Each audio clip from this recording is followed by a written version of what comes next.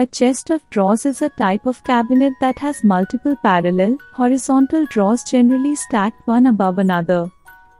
In American English, a dresser is a piece of furniture, usually waist high, that has drawers and normally room for a mirror.